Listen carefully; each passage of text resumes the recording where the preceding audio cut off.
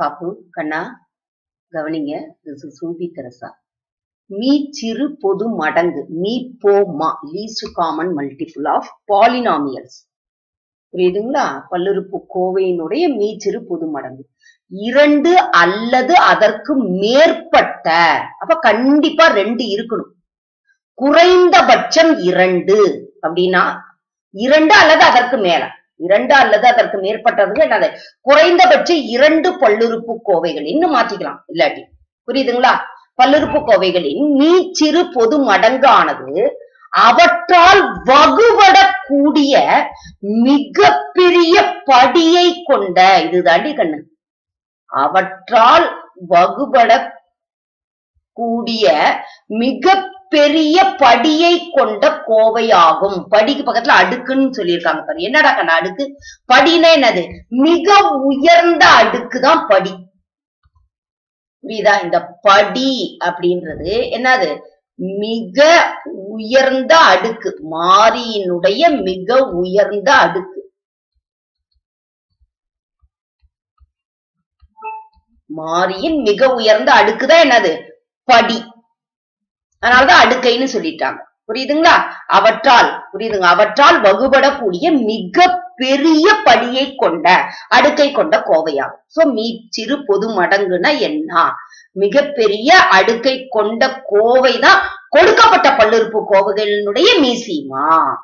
மிகப்பெரிய அடுக்கை மிகப்பெரிய படியை கொண்ட கோவை தான் கொடுக்கப்பட்டிருக்கக்கூடிய பல்லுறுப்பு இயற்கணித கோவையினுடைய மீச்சிறு பொது மடங்கு. எப்படி மிஸ் செய்யலாம்? இங்க பாருங்க ஒரு சின்ன எளிய கோவைகளை ஏ கியூப் பி ஸ்கொயர் முத கோவை. ரெண்டாவது ஏ ஸ்கொயர் பி கியூ இதுல என்ன பண்ணணும் அப்படின்றத பாருங்க. மீப்போமா டக்குன்னு சொல்லிட்டாங்க. ஏ கியூப் பி கியூப் ஏங்கண்ணா இங்க அழகா சொல்லிட்டாங்க பாருங்க. அவற்றால் வகுபடக்கூடிய மிகப்பெரிய படியை இப்ப மிக உயர்ந்த அடுக்கு என்னது? ஏ கியூப் ஏ ஸ்கொயர் அப்ப a cube b square b cube அப்ப பி கியூப் இதுதான் மீ போமா புரியுதுங்களா? புரியுதா? புரியலையா? அடுத்தது காரணி முறையில் மீப்போமா காண முதலில் ஒவ்வொரு கோவையும் அதன் காரணிகளாக பிரிக்கவும். சோ இத மட்டும் ஞாபகம் வச்சுக்கோங்க. காரணிகளாக பிரிக்கவும். அனைத்து காரணிகளின் மிக உயர்ந்த அடுக்கே மீப்போமா மிக உயர்ந்த அடுக்கு. முத காரணிகளா பிரிச்சுக்கிறோம். அடுத்த மிக உயர்ந்த அடுக்கு எடுக்கிறோம். இது ஒருவேளை எண்கள் கொடுத்திருந்தா கோவைகளில் எண் கெழுக்கள் இருக்குமானால் அவற்றுக்கும் மீப்போமா காண்க. எண் கெழுக்களுக்கும் என்ன கண்டுபிடிக்கணும்? மீப்போமா. இப்ப காரணிகளாக பிரிச்சு புரியுதுங்களா? காரணிகளாக பிரித்து மிக உயர்ந்த அடுக்கு. புரியுதுங்களா? அதுக்கப்புறம் எண்ணு கண்டுபிடிக்கிறோம். அப்ப இது ரெண்டையும் பெருக்கணுமா இல்லையா? அதான். எண்கெழுக்களின் மீப்போமா மற்றும் கோவைகளின் மீப்போமா ஆகியவற்றின் பெருக்கற்பலன் ஆகியவற்றின் பெருக்கற்பலன் தான் தேவையான மீப்போமா. எண்கெழுக்களினுடைய மீப்போமாவும் கோவைகளினுடைய மீப்போமாவினுடைய பெருக்கற் பலன் தான் தேவையான மீப்போமா. இப்ப இதுல பாருங்க கேளு இருக்கா? ஒண்ணு கேளு அதனால அது நமக்கு தேவையே இல்லை. இப்ப அதனால இதை மட்டும் எடுத்துக்கிட்டாங்க. புரிஞ்சுக்கிட்டீங்களா? புரியுதா? புரியலையா? அதனால அடுக்குன்னு வரும்போது நம்ம பிரிக்கவே தேவையில்லை. அப்படியே டக் டக்குன்னு எழுதிடலாம். இப்ப எடுத்துக்காட்டுக்கு வரலாம்டாங்கண்ணா முதல் கணக்கு. முதல் கணக்கு. தனியா அப்படி எழுதிக்கோங்க. எட்டு எக்ஸின் அடுக்கு நாலு ஒய்யின் அடுக்கு ரெண்டு. அடுத்து என்னது? நாற்பத்தி எட்டு எக்ஸ் ஸ்கொயர் ஒய்யின் அடுக்கு நாலு. இரண்டு அல்லது அதற்கு மேற்பட்ட. அப்ப இரண்டு கொடுத்துட்டாங்களா? முத இதுல கெழு வந்திருக்குதா வரலையா? அப்ப கெழுக்கு என்ன கண்டுபிடிக்கணும் முத? நீ போ மா கண்டுபிடிக்கணும். அப்ப காரணிப்படுத்தி பார்க்கணும். இது மடங்கா இருக்குதா இல்லையான்னு பாருங்க. இது பாருங்க எட்டு. இது எட்டாம் வாய்ப்பாட்டுல வந்தா அப்படியே எழுதிக்கலாம். நிறைய குழந்தைங்க ரெண்டு பெருக்கள் ரெண்டு பெருக்கள் ரெண்டுன்னு போடுறீங்க. இப்ப பாருங்க எட்டா? ஐயெட்டு நாற்பது ஆறு எட்டு நாற்பத்தி எட்டு. அப்ப இந்த எட்டு அப்படியே வச்சுக்கிறேன். புரியுதுங்களா? இங்க என்ன போட்டுக்கிறேன்? ஆறு எட்டு நாற்பத்தி எட்டு. புரியுதா கண்ணு இது மடங்கு.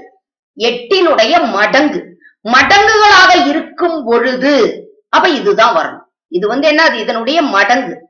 புரியுதுங்களா? அப்படி தெரியலன்னா நீ அதை பத்தி கவலைப்படாத. எட்டு எட்டு. முத இதுக்கு மீப்போமா கண்டுபிடிக்கணும். சரியாடி கண்ணு முத இது என்னது? எட்டு எட்டு. பொதுவா இருக்கா? இரண்டுக்கும் பொதுவா இருக்கக்கூடியதை முத எழுதிருங்க.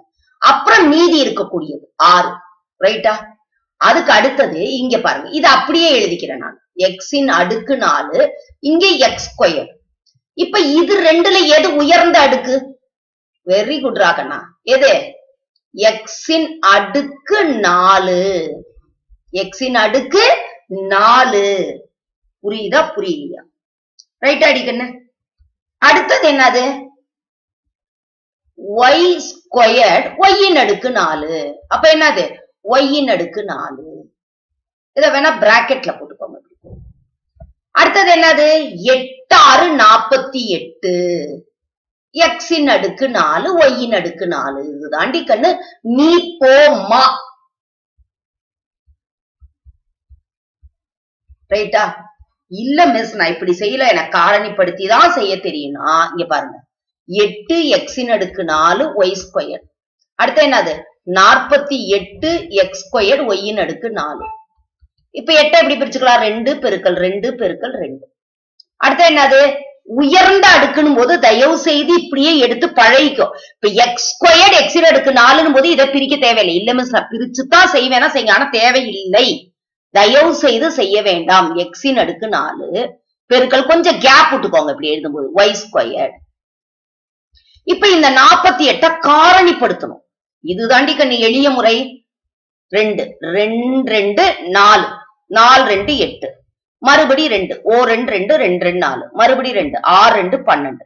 ரெண்டு. மூ ரெண்டு ஆறு. சரியா? அப்ப ரெண்டு பெருக்கல் ரெண்டு பெருக்கல் ரெண்டு பெருக்கல் ரெண்டு பெருக்கல் மூணு. பெருக்கல் எக்ஸ் ஸ்கொயர் பெருக்கல் ஒய் ஸ்கொயர் கொஞ்சம் கேப் விட்டு எழுதும். புரியுதுங்களா? இப்ப என்ன பண்ணுங்க?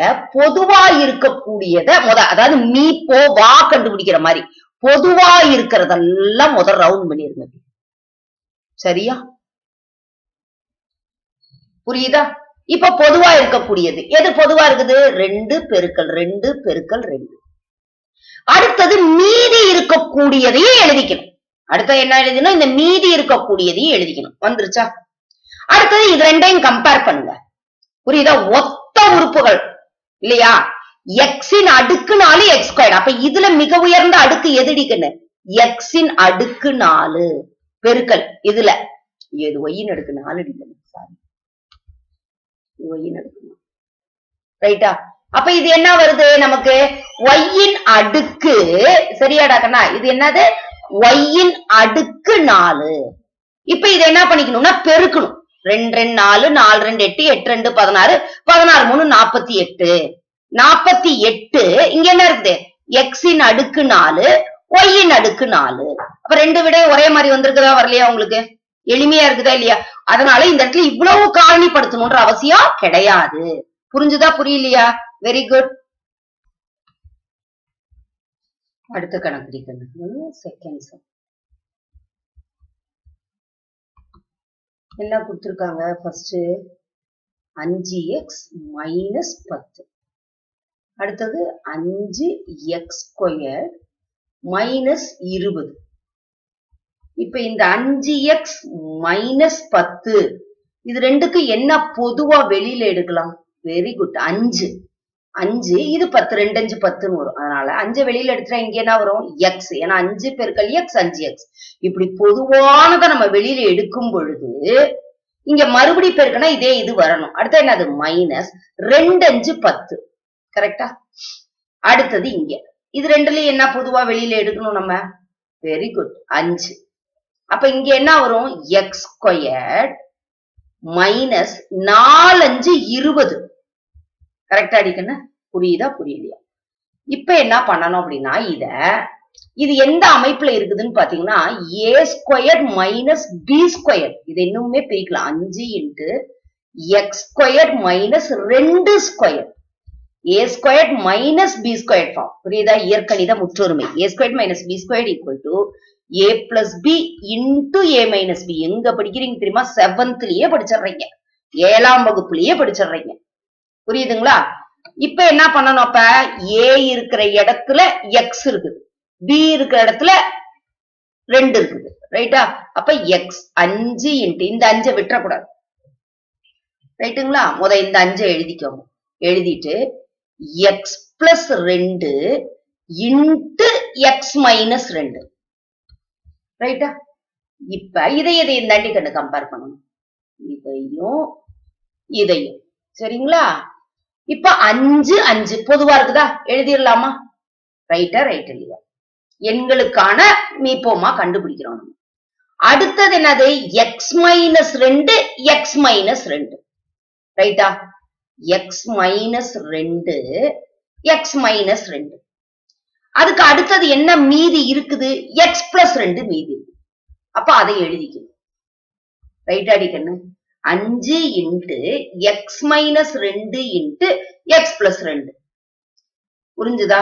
வந்துருச்சா வரலையா நமக்கு? இது ஒண்ணும் கிடையாது. இதே அமைப்பு தான் இதை இப்படி எழுதணும்னாலும் எழுதலாம். ஒன்னும் தப்பு கிடையாது. அஞ்சு இன்ட்டு எக்ஸ் ஸ்கொயர் மைனஸ் ரெண்டு ஸ்கொயர் இது என்ன ஆக்சுவலா இது. அப்ப இது ரெண்டுடைய மீப்போமா என்ன அப்படின்னு பாத்தீங்கன்னா இதுதான் ஆன்சர் புரியுதுங்களா? என்ன இதனுடைய மீப்போமா அஞ்சு எக்ஸ் ஸ்கொயர் மைனஸ் இருபது. இதுதான் மீப்போமா. புரியுதுங்களா அடிக்கண்ணு ஆனா நம்ம இதோட நிறுத்திடுறோம். ஏன்னா காரணிப்படுத்தி செய்யறதுனால அப்பதான் குழந்தைங்களுக்கு புரியும். இது இப்படி டைரக்டால குழந்தைங்களால கண்டுபிடிக்க முடியாது. ஆனா அதுக்கப்புறம் பாத்தீங்கன்னா ஏன்னா சில நேரத்துல இந்த சரியான விடையை தேர்ந்தெடுத்து கொடுக்கும்போது கரெக்டா பாக்கணும் எந்த அமைப்புல? இந்த மீப்போமால அது ஒரு இது. எந்த அமைப்புல கொடுத்துருக்காங்க? இப்படி கொடுத்துருக்காங்களா? இப்படி கொடுத்துருக்காங்களா? இது மாதிரி கொடுத்துருக்காங்களான்னு கரெக்டா பாத்துக்கணும் சரியாடா கண்ணா? அடுத்தது. மூன்றாவது கணக்குக்கு போலாமா? மூணாவது கணக்கு என்னடி கண்ணு? சொல்லுங்க. ஒரு நிமிஷம். எக்ஸின் அடுக்கு நாலு மைனஸ் ஒன்னு. அடுத்தது என்னது? ஆ. கமா போடுறதுன்னா போட்டுக்கோங்க இங்க. கமா எக்ஸ் ஸ்கொயர் மைனஸ் ரெண்டு எக்ஸ் பிளஸ் ஒன்னு. இப்ப தனித்தனியா எழுதிக்கலாம். எக்ஸின் அடுக்கு நாலு கழித்தல் ஒண்ணு. அடுத்து என்னது? எக்ஸ் ஸ்கொயர் மைனஸ் ரெண்டு எக்ஸ் பிளஸ் ஒன்னு காரணிப்படுத்திக்கணும்னு சொல்லியிருக்கோம். இது என்னது? எக்ஸின் அடுக்கு நாலு மைனஸ் ஒன்னின் அடுக்கு நாலு. புரியுதுங்களா? ஒன்னின் அடுக்கு நாலுன்னா ஒன்னே தான் இது எப்படி எழுதிக்கலாம் மறுபடியும் நல்லா கவனிக்கணும் டிகன்னு. எக்ஸ் ஸ்கொயர் மறுபடி ஹோல் ஸ்கொயர் ரெண்டின் அடுக்கு ரெண்டு. அப்ப ரெண்டு ரெண்டு நாலு. இது எப்படின்னா a to the power of m whole to the power of n equal to a to the power of m n அடுக்குகளை பெருக்குவோம். அடுக்குக்கு அடுக்கு. புரியுது ரெண்டு ரெண்டு நாள் கரெக்டா வருது? அதே மாதிரி தான் இங்க. ஒன்னு ஸ்கொயர் த ஹோல் ஸ்கொயர் இது எந்த அமைப்புல இருக்கு? மறுபடியும் இதே அமைப்புல இருக்கா? A square minus b square form ஆனா ஏ இருக்கிற இடத்துல என்ன இருக்குது இந்த இடத்துல? ஏ இருக்கிற இடத்துல எக்ஸ் ஸ்கொயர் இருக்குது. பி இருக்கிற இடத்துல ஒன்னு ஸ்கொயர் இருக்கு. வேற ஒண்ணும் கிடையாது. ரைட் அடிக்கணும். அப்ப இது எப்படி எழுதிக்கலாம்? எக்ஸ் ஸ்கொயர் பிளஸ் ஒன்னு square into x square minus ஒன்னு ஸ்கொயர் சரியா அடிக்கணும்? அப்ப இது என்ன ஆகும்னா இது எக்ஸ் ஸ்கொயர் பிளஸ் ஒன்னு அப்படியே தான் வரும்.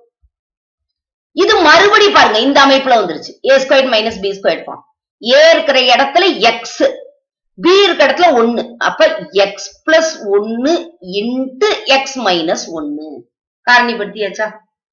காரணிப்படுத்திட்டோமா? படுத்தலையா ரைட்டா அடுத்தது ரீகன் இப்ப இது என்னது? எக்ஸ் ஸ்கொயர் மைனஸ் ரெண்டு எக்ஸ் பிளஸ் ஒன்னு பெருக்குனா என்ன கிடைக்கணும் நமக்கு? பிளஸ் ஒன்னு கிடைக்கணும். அதே என்ன கூட்டுனா மைனஸ் ரெண்டு கிடைக்கும். அப்போ மைனஸ் ஒன்னு மைனஸ் ஒன்னு ஓரோன் ஒன்னு மைனஸ் இன்டு மைனஸ் பிளஸ் பெருக்குனா வந்துருச்சா? பெருக்குனா பிளஸ் ஒன்னு அதே இரண்டு எண்களை கூட்டினா மைனஸ் ரெண்டு. மைனஸ் ஒன்னையும் மைனஸ் ஒன்னையும் கூட்டினா மைனஸ் ரெண்டு. கூட்டி அதே குறியை இட வேண்டும். குறிகள் ஒரே மாதிரியாக இருந்தால் கூட்டி அதே குறியை இட வேண்டும். சரியாடா கண்ணா அப்ப இது என்ன அர்த்தம்? எக்ஸ் மைனஸ் ஒன்னு எக்ஸ் மைனஸ் ஒன்னு சரியாடா கண்ணா எக்ஸ் மைனஸ் ஒன்னு எக்ஸ் மைனஸ் ஒன்னு இப்ப மீப்போமா இது மீப்போமான்னு எழுதிக்கணும் இப்ப மீப்போமா கண்டுபிடிக்கணும் மீப்போமா மீப்போமா கண்டுபிடிக்க சொன்னாலும் முதோ மீப்போவா கண்டுபிடிச்சிடணும். புரியுதுங்களா? எது பொதுவா இருக்குது? எக்ஸ் மைனஸ் ஒன்னு. அதுவும் இது அடுக்கு வந்து பாருங்க. இது என்ன இருக்குன்னா எக்ஸ் மைனஸ் ஒன்னு த ஹோல் ஸ்கொயர்டுன்னு எழுதிக்கலாம் எழுதிக்கலாம். இது எப்படி எழுதிக்கலாம் நம்ம? எக்ஸ் மைனஸ் ஒன்னு த ஹோல் ஸ்கொயர் ஏன்னா அப்ப அடுக்கு வைக்கும் போது நமக்கு ஈஸியா வந்துடும் ஏன்னா இங்கேயும் எக்ஸ் மைனஸ் ஒன்னு இருக்குது இங்கேயும் எக்ஸ் மைனஸ் ஒன்னு த ஹோல் ஸ்கொயர் அப்ப இது ரெண்டையும் கம்பேர் பண்ணும்போது இங்க என்ன வரும்? இந்த பாருங்க இதையும் இதையும். அடுக்க கம்பேர் பண்ணணும்னு சொன்னாங்களா? சொன்னாங்களா? சொல்லலையா? மிக உயர்ந்த அடுக்கு தான் அப்ப இங்க என்ன வரும் நமக்கு ஆன்சர் கலர்லயே போடுறேன். எக்ஸ் மைனஸ் ஒன்னு த ஹோல் ஸ்கொயர் இது ஃபுல்லா இங்க வந்துருச்சா? அப்ப மிச்சம் என்னென்ன இருக்கோ அதை எழுதிக்கலாமா? மீதி என்னென்ன இருக்குது? சொல்லுங்க பார்க்கலாம். Very good x square plus ஒன்னு இன்ட்டு எக்ஸ் பிளஸ் ஒன்னு ரைட் அடிக்கண்ணு புரியுதா புரியலையா? இதுதான் அமைப்பு. எக்ஸ் மைனஸ் ஒன்னு த ஹோல் ஸ்கொயர் அடுக்கா எழுதி இருக்கணும் வேற ஒண்ணும் கிடையாது. ரைட்டுங்களா இப்ப இதையே இன்னொரு விதமாவும் எழுதலாம். இதையே இன்னொரு விதமாவும் எழுதலாம் நம்ம. எப்படின்னு பாத்தீங்கன்னா கவனிடிக்கணும் இப்ப இதை இதை விட்டுட்டேன். இங்க எடுத்துக்கிறேன். அதை பாருங்க. இது எக்ஸ் மைனஸ் ஒன்னா இங்க ஒரு எக்ஸ் மைனஸ் ஒன்னா சோ எக்ஸ் மைனஸ் ஒன்னு மறுபடியும் இந்த எக்ஸ் மைனஸ் ஒன்னு தனியா இருக்கு மிச்சம். அதனால மறுபடியும் எக்ஸ் மைனஸ் ஒன்னு ரைட்டுங்களா? அடுத்தது மீதி என்னென்ன இருக்கு? இது ரெண்டு இருக்கு. புரிஞ்சுதா? புரியலையா அடிக்கணும் ரைட்டா? இங்க ஒரு எக்ஸ் மைனஸ் ஒன்னு இங்க ஒரு எக்ஸ் மைனஸ் ஒன்னு இந்த ரெண்டுக்கும் பொதுவா மீ போ வா கண்டுபிடிக்கிற மாதிரி எழுதிடுறோம். அடுத்து இது மிச்சம் இருக்குதுன்னு இங்க எழுதிட்டோம். மீதி என்ன இருக்குது இங்க? எக்ஸ் பிளஸ் ஒன்னு எக்ஸ் ஸ்கொயர் பிளஸ் ஒன்னு ரைட்டுங்களா இப்ப புரிஞ்சுதா? இதோட முடிஞ்சிடுச்சு ஆன்சரு இன்னொரு விதம். இன்னொரு விதம் இது. ஆர் இப்ப இது கவனிங்களேன் இந்த மூணு ஃபேக்டரும் இந்த பாருங்க. இந்த மூணும் எங்க இருக்குது? இங்க இருக்குதா? எக்ஸ் மைனஸ் ஒன்னு எக்ஸ் பிளஸ் ஒன்னு எக்ஸ் ஸ்கொயர் பிளஸ் ஒன்னு இது எதுக்கான ஆன்சர் இதா பாருங்க. ரைட்டா அப்ப இது எப்படியும் சொல்லலாம் நம்ம. எக்ஸ் மைனஸ் ஒன்னு இன்ட்டு புரியுதுங்களா? எக்ஸ் மைனஸ் ஒன்னு இன்ட்டு எக்ஸின் அடுக்கு நாலு மைனஸ் ஒன்னு. இப்படியும் எழுதலாம். சரியாடி கண்ணு புரிஞ்சுதா புரியல இதுல வந்து இதை எழுதணும் நம்ம. எக்ஸ் மைனஸ் ஒன்னு த ஹோல் ஸ்கொயர்டுன்னு எழுதணும். புரிஞ்சுதா புரியலையா? எக்ஸ் மைனஸ் ஒன்னு த ஹோல் ஸ்கொயர்டு என்ன? இதையே பாருங்க இன்னொரு விதமாவும் எழுதலாம். எவ்வளோ விதமா ஆன்சர் இப்ப இதையே எக்ஸ் மைனஸ் ஒன்னு த ஹோல் ஸ்கொயர்டு இதுதான். அப்ப எக்ஸ் ஸ்கொயர்ட் மைனஸ் ரெண்டு எக்ஸ் பிளஸ் ஒன்னு இன்ட்டு எக்ஸ் ஸ்கொயர் பிளஸ் ஒன்னு இன்ட்டு எக்ஸ் பிளஸ் ஒன்னு ஏன் மிஸ் இதெல்லாம் எழுதாம இதை மட்டும்? ஏன்னா நம்ம வந்து நீங்க வந்து சின்ன பிள்ளைங்க. அதனால காரணிப்படுத்துக மூலியமா தான் நம்ம என்ன கண்டுபிடிக்கிறோம்? நீப்போமா கண்டுபிடிக்கிறோம். அதனால காரணிகளை அப்படியே எழுதுறோம். வேற ஒண்ணும் கிடையாது. புரிஞ்சுதுங்களா? இப்ப நம்ம வந்து அந்த மீப்போவா மீப்போமா கொடுத்து f of x g of x எல்லாம் படிக்கும் போதெல்லாம் இது தெரிஞ்சுக்குவீங்க நீங்க. அடுத்தடுத்த பயிற்சிகள் வரும்போது இதெல்லாம் புரிஞ்சுக்குவீங்க. மிஸ் ஆனா இதுலயே சொல்லி கொடுத்துட்டேன். வேற ஒண்ணும் கிடையாது. ஏன்னா சரியான விடையை தேர்ந்தெடுத்து எழுதுக வரும்போது மீப்போவா மீப்போமா நிறைய பேர் தப்பு பண்றீங்க. இப்ப இந்த விடைதான் கரெக்ட்னு நீங்க ஃப்ரேம் ஆயிடுறீங்க. இது மாதிரி கண்டுபிடிக்க மாட்டேன்றீங்க. அதனாலதான். சரியாடா கண்ணா அடுத்த கணக்கு போலாமா? இந்த இருக்கோ? நாலாவது கணக்கு. அடுத்தது நீ கண்ணு. நாலாவது கணக்கு. நாலாவது கணக்கு. என்னடி கண்ணு? எக்ஸ் கியூப் மைனஸ் இருபத்தி ஏழு கமா எக்ஸ் மைனஸ் மூணு the whole square comma x square minus ஒன்பது. இல்ல இந்த ஃபர்ஸ்ட் இது கடைசியா செஞ்சுக்கிறேன் நான். அடுத்தது எக்ஸ் மைனஸ் மூணு த ஹோல் ஸ்கொயர் இதுவும் அப்படியே இருக்கட்டும். எக்ஸ் ஸ்கொயர் மைனஸ் ஒன்பது. இது எனக்கு தெரியும். இது என்னது? எக்ஸ் ஸ்கொயர் மைனஸ் மூணு square that is a square minus b square equal to a plus b into a minus b a இருக்கிற இடத்துல என்ன இருக்குது? எக்ஸ் இருக்குது. பி இருக்கிற இடத்துல என்ன இருக்குது? மூணு இருக்குது. அப்ப எக்ஸ் பிளஸ் மூணு இன்ட்டு எக்ஸ் மைனஸ் மூணு. இப்ப இங்க எக்ஸ் பிளஸ் மூணு எக்ஸ் மைனஸ் மூணு வந்துருச்சா? அதனால இந்த அடுக்குகளை நம்ம என்ன பண்ண வேணாம்? அப்படியே எழுதிக்கலாம். ஏன்னா உயர்ந்த அடுக்குன்னு நம்ம சொல்றோம். அதனால அடுக்க பிரிக்கவே வேண்டாம். வேணும்னாலும் தனித்தனியா எழுதணும்னாலும் நீங்க எழுதிக்கோங்க. ஒண்ணும் தப்பு கிடையாது. ஆனா அடுக்குகள்ன்றதுனால இதை பிரிக்க வேணாம். இது பாருங்க. எக்ஸ் கியூப் மைனஸ் மூணு கியூப் இது எந்த அமைப்புல இருக்குன்னா a cube minus b cube a cube minus இதுக்கு வந்து காரணிப்படுத்துக. அந்த சூத்திரம் தான் எழுதணும். A minus b into a square plus ab plus b square நிறைய குழந்தைங்க என்ன தெரியுமா பண்ணிடுறீங்க? A cube minus b கியூப்னா a plus b the whole cube sorry sorry a minus b the whole cube plus three ab into a minus b இதை எழுதுறீங்க. இதை எழுத வேண்டாம் கண்ணா இது எழுதக்கூடாது. புரியுதுங்களா? இதத்தான் நீங்க செய்யணும். இது எதுல இருந்து வருதுன்னு தெரியுதா உங்களுக்கு? A minus b the whole cube equal to என்னது? A cube minus b cube minus three ab into a minus பின்னு படிப்பேன். ஞாபகம் அதனால இது கிடையாது. இதுதான் காரணிப்படுத்துகன்னு போது இதான் பயன்படுத்தணும். அப்ப ஏ இருக்கிற இடத்துல என்ன இருக்குது? எக்ஸ் இருக்கு புரியுதுங்களா? பி இருக்கிற இடத்துல மூணு இருக்கு ரைட்டா அப்ப எப்படி எழுதிக்கலாம்? ஏ மைனஸ் பி அப்ப எக்ஸ் மைனஸ் மூணு into x squared plus ab a என்னது? எக்ஸ் பி என்னது? மூணு. ஆனா கெழுவதான் முத எழுதணும். அதனால மூணு எக்ஸ் மூணு பெருக்கல் எக்ஸ் அடுத்தது என்னது? மூணு ஸ்கொயர்ட் ஆக்சுவலா மூணு ஸ்கொயர் நம்ம என்ன எழுதிக்கலாம்? ஒன்பது. புரியுதா? புரிஞ்சுதா? புரியுங்க இப்ப நம்ம மீப்போமா கண்டுபிடிச்சுக்கலாமா? என்னது? மிக உயர்ந்த அடுக்கு. எது? இது. மூணையும் கம்பேர் பண்றோம் ரைட்டுங்களா? அப்ப எதை எழுதிக்கணும்? எக்ஸ் மைனஸ் மூணு த ஹோல் ஸ்கொயர் அப்ப இதை எழுதிட்டோம். இத மூணையும் கம்பேர் பண்ணி இதை எழுதிட்டோம். புரியுதுங்களா? அடுத்தது கம்பேர் பண்ணணும். அடுத்தத கம்பேர் பண்ணணும். கம்பேர் பண்ணும்போது இப்ப இது மிச்சம் இருக்குது. இதுவும் மிச்சம் இருக்குது. கரெக்டா கரெக்ட் இல்லையா? அடிக்கணும் அப்ப அதை அப்படியே எழுதிடலாமா என்னது? எக்ஸ் பிளஸ் மூணு இன்ட்டு எக்ஸ் ஸ்கொயர் பிளஸ் மூணு எக்ஸ் பிளஸ் ஒன்பது. இவ்வளவுதான் கண்ணு புரிஞ்சுதா? புரியுங்க இதுதான் என்னது? மீ போ மா வேற ஒண்ணும் கிடையாது. இப்ப இத மாத்தி எழுதணும்னாலும் எழுதலாம். புரியுதுங்களா? மூணு இது கொடுத்திருக்காங்க. அமைப்புகள் வந்து இதுக்குள்ள இருக்கிற அமைப்பை நீங்க மாத்தி எழுதி பாருங்க. சரியான விடையை தேர்ந்தெடுத்து எழுது கொடுக்கும் பொழுது எதை செய் எது கொடுக்குறாங்க அப்படின்றத பார்க்கணும். புரிஞ்சுக்கிட்டீங்களா? புரியுதா? புரியலையா? அதனால இத கரெக்டா இப்ப பாருங்க. எக்ஸ் மைனஸ் மூணு த ஹோல் ஸ்கொயர்டா இன்டே அப்ப இந்த இது அப்படியே வந்திருக்குது நம்ம. ரைட்டுங்களா அடுத்து என்னது? எக்ஸ் பிளஸ் மூணு இன்ட்டு எக்ஸ் ஸ்கொயர் பிளஸ் மூணு எக்ஸ் பிளஸ் ஒன்பது. இந்த ஒரு பல்லுறுப்புக்கோவை அப்படியே வந்துருச்சுங்க. அதனால அப்படியே கூட விட்டுரும் இல்லையா? இது எக்ஸ் மைனஸ் மூணுன்னு பிரிச்சு எழுதுனீங்கன்னா இங்க என்ன வரும்? எக்ஸ் இங்க பாருங்க இதை பிரிச்சு எழுதுறேன். வேற கலர் ஆன்சர் முடிஞ்சிருச்சு கண்ணு. புரியறதுக்காக. இல்ல அப்படின்னாலும். எக்ஸ் மைனஸ் மூணு எட்டு ஏன்னா மிக உயர்ந்த அடுக்குன்னு பார்க்கும்போது நம்ம பிரிச்சு எழுத மாட்டோம். ஒருவேளை ஒரு சில குழந்தை இப்படி எழுதிருச்சுன்னா உடனே தப்புன்னு நினைச்சுக்காதீங்க. ரைட்டா இத ஒருவேளை எக்ஸ் மைனஸ் மூணு எக்ஸ் மைனஸ் மூணு எழுதுனா அந்த குழந்தை இப்படிதான் எழுதும். முத மூணுக்கும் பொதுவா இருக்கிறது எக்ஸ் மைனஸ் மூணு. அதுக்கப்புறம் எது மிச்சம் இருக்குதோ அதெல்லாம் எழுதும்போது இப்படித்தானே எழுதும். கரெக்டா கரெக்ட் அப்ப இது ஆன்சர் தப்பா? கிடையாது. ஆனா மிக உயர்ந்த அடுக்குன்றதுனால நம்ம இதுல குடுக்குறோம். வேற ஒண்ணுமே கிடையாது. புரியுதுங்களா? மிக உயர்ந்த அடுக்குன்றதுனால இதுல இது கொடுத்துருக்குறோம். இப்ப இப்படி கொடுக்கறதுனால ஒன்னும் தப்பு கிடையாது. அப்ப நம்ம எடுக்கும் போது நம்ம என்ன எடுப்போம்? இப்ப இது ரெண்டும் எங்க வருது? இத பாருங்க. இங்க வருதா? இது ரெண்டு எங்க வருது? இங்க வருதா? அப்ப என்ன வரும் நமக்கு?